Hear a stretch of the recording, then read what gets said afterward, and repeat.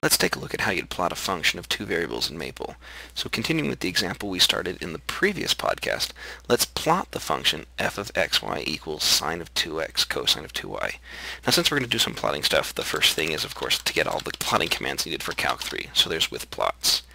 And as a reminder, let me show you what the contour plot was that we had last time. The contour plot of the sine of 2 times x times the cosine of y over, say, the interval from minus 5 to 5 and the y value is going from minus 5 to 5. Looks something like this. And again, just as a, a quick plot right here, we got a graph who looks something like this. So there were high points. The higher points happened to be alternating, and then there were lower points who were alternating. So that would give me the impression that the graph should have hills anytime I see something in yellow, and valleys anytime I see something in red. But how do I make a plot of this?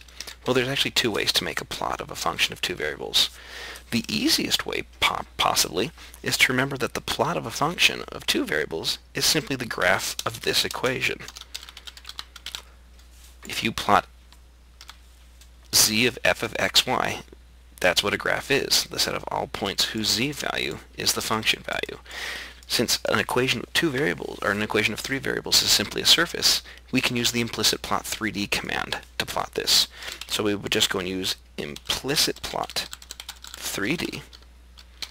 Write the equation we want to plot, z equals my function, sine of 2x times the cosine of y, and then give it an interval to plot this over. So x going from minus 5 to 5, y going from minus 5 to 5, and the z value is going from minus 5 to 5. So my initial plot looks like that. And I can kind of see the basic flavor. I see rises and falls and things like that. Doing what we did before here, we could go and increase the grid size. So there's the grid size increased. And I can also start putting in the axes so I can get a better sense of what it looks like. And so that's what this plot looks like. And so I actually can see very much that sort of bumping up and down egg carton shape to it. In fact, it doesn't look like I really used too much of the z-axis at all, so maybe another quick plot is I could scale down the z-axis a wee bit, maybe make it go from minus 2 to 2, and that will exaggerate the features a little bit, and I can see the graph. And then I also remember I can use the style patch contour plot or command in order to actually see those level sets back again. There's those level sets, and here they are elevated. So that's one way to plot a function of two variables. It doesn't require us learning any new commands, but it's a little slow and clunky because you have to make your plot, and then you have to go through refinements, zoomings and scalings, and sometimes adjusting it a little bit to make it visible. There is a second method, and the second method is specific to functions of two variables only, and it's the command plot3d.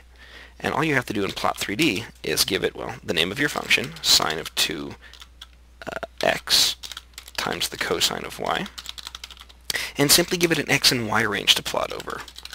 x goes from minus 5 to 5, y goes from minus 5 to 5. And what Maple does is it's going to take these x and y ranges, plug them into the function, and it's going to essentially draw polygons, triangles and rectangles floating in space, and connect them. And so here's what it gets when it draws the triangles floating in space. And just like implicit plot, its first plot will be a little bit choppier, although for uh, when you have a function of two variables, Plot3D will usually give you a more accurate version a little bit more swiftly. I can go and do the usual kinds of things. I can go and type in the same grid command, say grid equals 3030, and it will smooth it out a little bit more. And I can even use the same uh, style command, style equals, maybe if I spell it right, style equals patch contour, and get that same graph right here. So these are just two different methods to get a hold of the same plots right here. And it's just a little bit of experimentation between the two of them to decide which one you like a little bit more or which is more useful for the situation.